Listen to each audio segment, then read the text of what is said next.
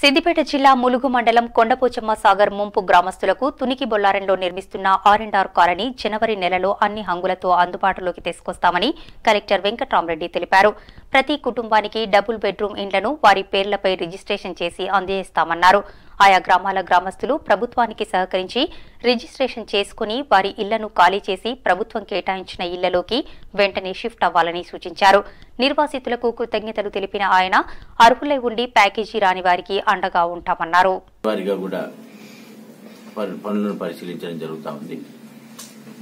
ఈ పనులు కూడా పూర్తి స్థాయిలో సంక్రాంతి వరకు కంప్లీట్ చేస్తాం. అన్ని విధాల ఆర్ఎన్ఆర్ కాలనీ సిద్ధంగా ఉంటుంది.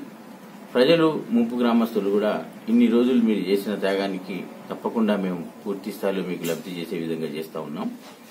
ఒక్కటి ముంపు గ్రామస్తులు పీడిఎఫ్ ఫ్యామిలీస్ ఏవైతే ముంపుకు గురైన కుటుంబాలు గుర్తుపెట్టుకోవాల్సింది అది ప్రభుత్వాన్ని నమ్మాల్సింది అధికార యంత్రాంగాన్ని నమ్మాల్సింది ఏంటంటే గౌరవ ముఖ్యమంత్రి గారు ప్రత్యేకమైన ఆదేశాలు ఇవ్వడం జరిగింది. ముంపు గ్రామ కుటుంబాలకి అత్యంత మంచి ప్రమాణాలతోనే ఆర్ఎన్ఆర్ కాలనీ నిర్మించాలి. ఆ కాలనీ నిర్మించడంలో ప్రత్యేక శ్రద్ధ తీసుకోవాలని చెప్పేసి కలెక్టర్గా నాకు జిల్లా యంత్రాంగానికి గౌరవ ముఖ్యమంత్రి గారు ఆదేశాలు ఇవ్వడం.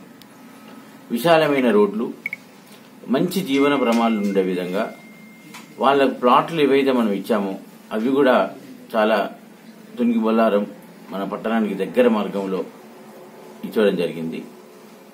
గౌరవ ముఖ్యమంత్రి గారి ఆలోచన తర్వాత గౌరవ మనకు మనకి ప్రభుత్వ ఆలోచన ఏంటంటే ప్రతి ముంపు కుటుంబం కూడా ఎంతైతే భూమి కోల్పోయిందో ఈ ప్రాజెక్ట్ నిర్మాణం వల్ల భూములు మళ్ళీ మనం కట్టి ఇప్పుడు ఇప్పుడున్న పెరిగిన విలువలతో చూసినట్టయినా కూడా వారి ఇల్లుకి వారికి ఇచ్చే ప్లాట్ల విలువ దానికి సమానంగా ఉండాలనే ఆలోచనతో ఒక మంచి ఇన్ఫ్రాస్ట్రక్చర్తో ప్రాజెక్టు ఆ కాలనీ నిర్మించడం జరిగింది.